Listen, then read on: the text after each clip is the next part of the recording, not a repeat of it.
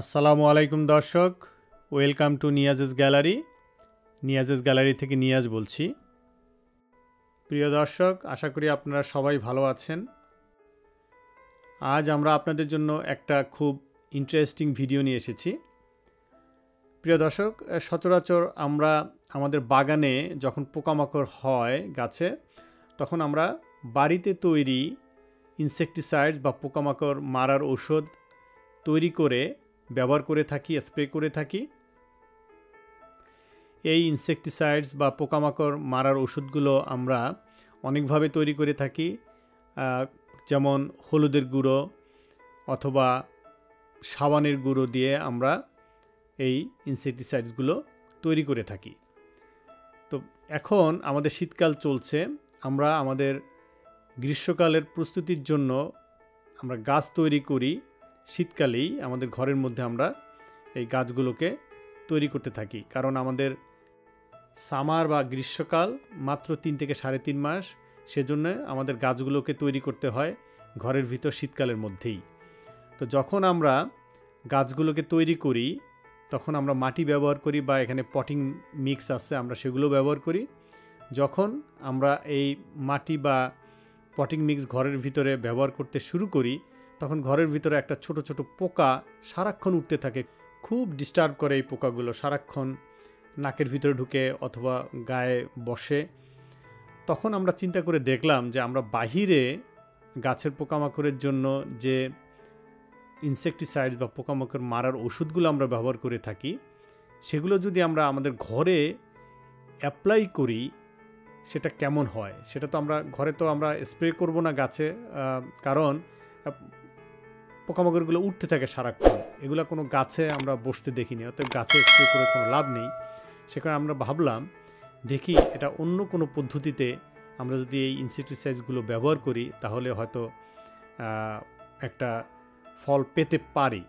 আমরা এই ধারণা থেকে পরীক্ষামূলকভাবে আমরা ঘরে তৈরি ইনসেকটিসাইডস বা পোকামাকড় মারার ঔষধ ব্যবহার করা শুরু করলাম। প্রিয় দর্শক, এখন আমি আপনাদেরকে দেখাবো আমরা ঘরে তৈরি কি কি ইনসেকটিসাইডস ব্যবহার করি, সেটা কীভাবে আমরা তৈরি করি এবং সেটার কি ফলাফল পেলাম। দেখুন দর্শক, এই পোকাগুলো উঠতে থাকে সারাক্ষণ।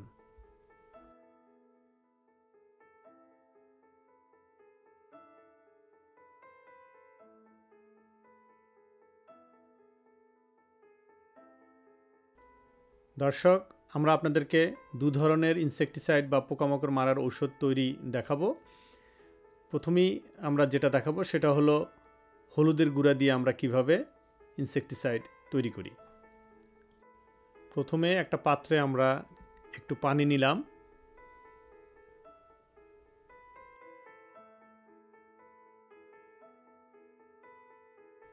এরপর এক চা চামচের তিন ভাগের এক ভাগ হলুদের গুঁড়া নিলাম। নিয়ে আমরা এটাকে পানির সাথে মিশিয়ে দিব।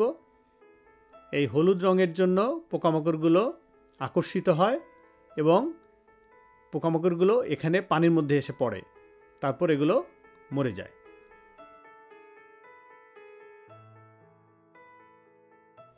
পানি ও হলুদ গুঁড়া মিশানোর পরে আমরা এর সাথে একটা লিকুইড সাবান আপনার হাতের কাছে যেটা আছে আপনারা সেটাই ব্যবহার করবেন। আমরা সানলাইট এখানে পাওয়া যায়, একটা লিকুইড সাবান।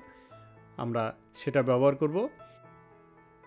আমরা অর্ধেক চা চামচ লিকুইড সাবান ব্যবহার করব। নিয়ে আমরা মিশিয়ে দিব পানি এবং হলুদ গুঁড়োর সাথে। খুব ভালোভাবে মিশাতে হবে পানির সাথে।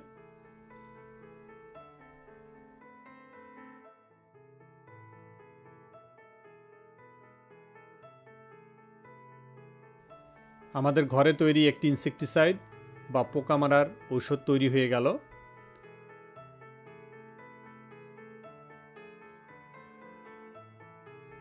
এখন আমরা ঘরে তৈরি এই ইনসেকটিসাইড বা পোকা মারার ওষুধটিকে আমরা যেখানে চারা তৈরি করছি বা গাছ তৈরি করছি, সেখানে নিয়ে রেখে দিব। দর্শক দেখুন, তিন চার দিন পরে অনেকগুলো পোকা এখানে পড়ে মরে আছে। আমি যদি আপনাদেরকে একটু ক্লোজ করে দেখাই। দেখুন, অনেকগুলো পোকা নিচেও পড়ে মরে আছে। দেখুন, নিচে যে জমে আছে।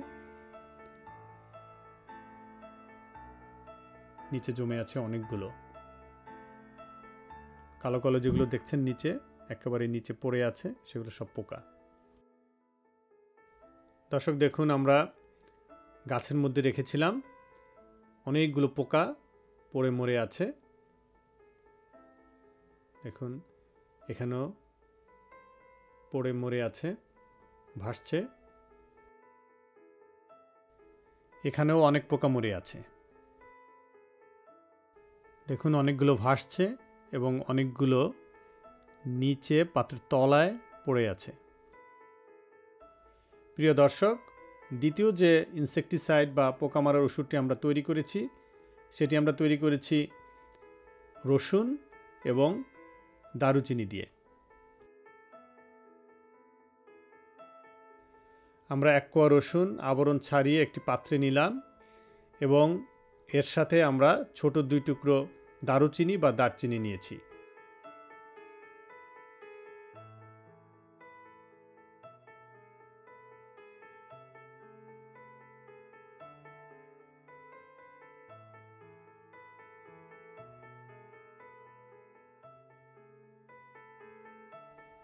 এখন এই পাত্রটিতে রসুন এবং দারুচিনির সাথে আমরা পানি নিব। এভাবেই তৈরি হয়ে গেল আমাদের ঘরে তৈরি দ্বিতীয় ইনসেকটিসাইড বা পোকামারার ঔষধ।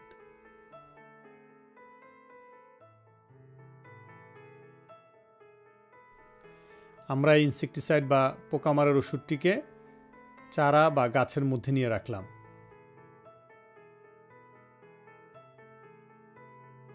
দেখুন দর্শক, এটি রাখার এক মিনিট না হতেই পোকা আসতে শুরু করেছে।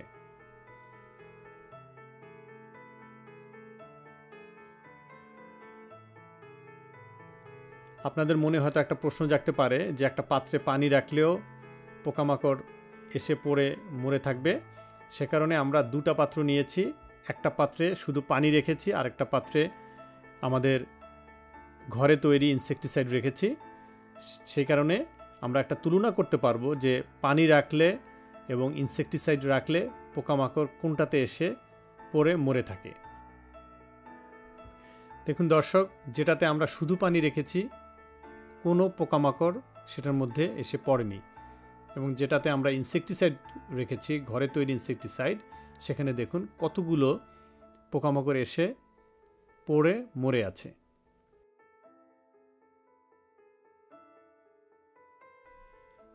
প্রিয় দর্শক, আজ এ পর্যন্তই।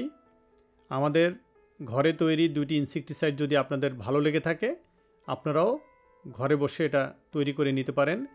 আশা করি ভালো ফল পাবেন। এই ভিডিওটি যদি আপনাদের ভালো লেগে থাকে, আমাদের চ্যানেলটি এক্ষুনি সাবস্ক্রাইব করুন প্লিজ। আর বেল বাটনটি প্রেস করে রাখবেন, তাহলে আমরা যখনই একটি নতুন ভিডিও আপলোড করব, আপনারা সাথে সাথে পেয়ে যাবেন। আর যারা অলরেডি আমাদের চ্যানেলটি সাবস্ক্রাইব করেছেন তাদের সবাইকে অসংখ্য ধন্যবাদ। প্রিয় দর্শক, আমরা অনেক কষ্ট করে একটা ভিডিও বানাই।